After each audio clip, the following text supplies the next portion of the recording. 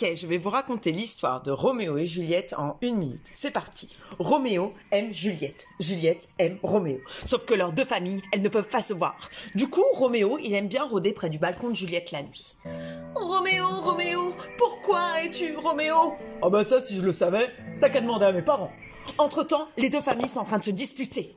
Mercutius, le meilleur ami de Roméo, se fait tuer, et du coup, eh ben, Roméo, il en profite pour tuer le cousin de Juliette, Tybalt. Juliette, elle, elle est complètement perdue. Oh, est-ce que Roméo, il est gentil? Oh, est-ce que Roméo, il est méchant? Oh, je suis complètement perdue Ah, Oui, mais je l'aime, alors je vais tout faire pour être avec lui. J'ai une idée pour qu'on puisse se rejoindre, je vais faire croire à tout le monde que je suis morte, mais sauf Roméo, il le saura à lui. Oh tiens, je vais vite lui écrire un mot. Romy chérie, je vais boire un poison. Tout le monde va croire que je suis morte, mais en fait, je serai en vie. Trois gouttes, tu dormiras. Cinq gouttes, tu mouriras. Un, deux, trois. Sauf que Roméo, il n'a jamais reçu le mot. Ah, Juliette, oh non, qu'est-ce qui s'est passé? T'es morte? Oh vite! Poison chéri Je vais te boire et comme ça je vais te rejoindre.